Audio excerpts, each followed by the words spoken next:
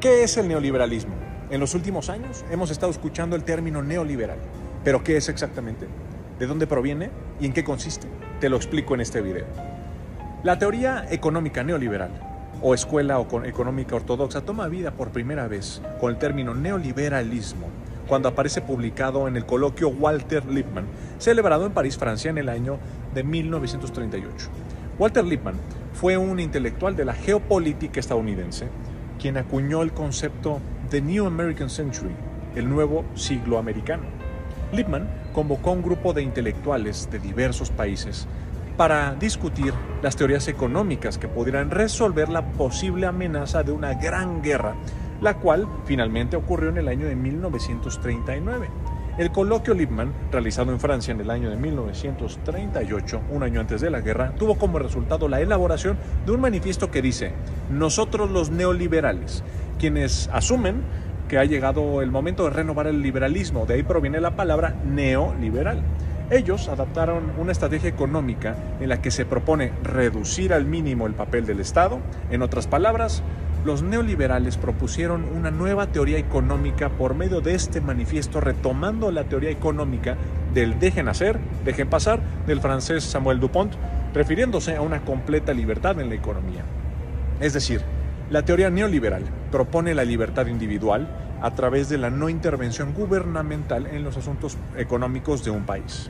En torno a todo esto, ha girado el proyecto económico que culminó con otra fecha importante para el detonante de la teoría política neoliberal de la época moderna que conocemos. En el año de 1989 nace el Decálogo del Consenso de Washington con 10 puntos, donde describe la estrategia neoliberal, basándose en el esquema con el que el neoliberalismo ha avanzado en la política económica de un gran número de países, incluyendo nuestro México.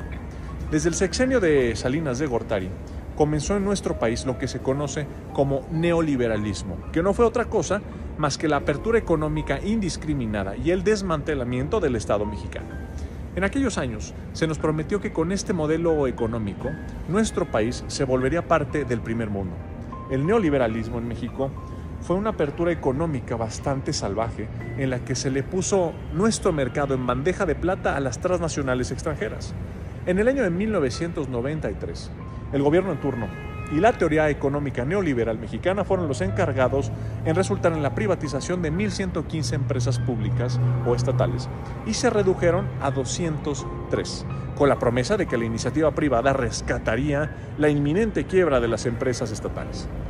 Por citar un ejemplo sencillo, los ferrocarriles mexicanos empresa pública que se privatizó con la promesa de que la iniciativa privada modernizaría y haría más eficiente el transporte ferroviario de carga y de pasajeros. Por lo contrario, al día de hoy se ha traducido solamente un negocio privado que desapareció el transporte ferroviario de pasajeros, dejando en el abandono la conectividad de millones de usuarios mexicanos. Las empresas mexicanas de golpe se tuvieron que enfrentar a la crisis económica del año de 1995 y también a la competencia desigual de las corporaciones extranjeras. Esto provocó que la apertura económica en México haya estado marcada por la quiebra de miles de pequeñas y medianas empresas. Además, se nos inundó de maíz importado, y no solo perdimos nuestra soberanía alimentaria, sino que también millones de agricultores del sur del país tuvieron que irse a la quiebra y emigraron a Estados Unidos en búsqueda de sustento y mejores oportunidades. Esta migración masiva rompió el tejido social y es algo que hoy seguimos pagando como sociedad. Se entregaron las empresas estatales y también los sectores clave de la economía. Ningún país entregó tanto a los extranjeros como el caso de los mexicanos, como ahí en la época neoliberal el desmantelamiento del Estado mexicano. Fue la causa de la gran corrupción que carcomió a un sistema político dominado por el PRI y por el PAN. Con la reforma energética, recordemos, de Peña Nieto, se buscó mandar a la quiebra a Pemex, a Petróleos Mexicanos y a la Comisión Federal de Electricidad, a la CFE. Todo con el objetivo de entregar el sector eléctrico nacional a corporaciones extranjeras como Iberdrola, y también permitir que nuestro petróleo quedara en manos de las grandes petroleras extranjeras. El neoliberalismo nunca dio los resultados esperados. Por lo contrario, los grandes favorecidos de esta etapa económica en México fueron algunos políticos que acumularon grandes fortunas o los dueños de las corporaciones extranjeras que se pudieron quedar con nuestro mercado nacional.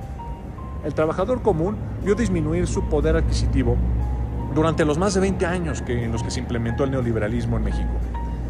la promesa de que los salarios subirían conforme se abriera la economía fue una de las mayores mentiras también jamás dichas por los políticos neoliberales. La cuarta transformación fue la respuesta de la sociedad mexicana a un sistema neoliberal que solamente le dio prioridad a las ganancias de las grandes corporaciones. La esencia de la cuarta transformación es poner por encima de todo el bienestar de todos los mexicanos, separando al poder económico del político. El gobierno del presidente Andrés Manuel López Obrador, a lo largo de todo su mandato, se ha enfocado en remediar los males heredados por los políticos neoliberales, como lo son la corrupción y también la gran desigualdad económica. El rescate del sur-sureste, la política social, y la recuperación de la soberanía energética son sin duda acciones de este gobierno que encaminan a sepultar un modelo económico bastante deshumanizado como lo es el neoliberalismo. En conclusión, el neoliberalismo fue usado como una oportunidad para robar bienes de la nación y no para generar riqueza social. Soy Miguel Torruco Garza y les mando un abrazo muy fuerte desde aquí, de la Cámara de Diputados. Hasta luego.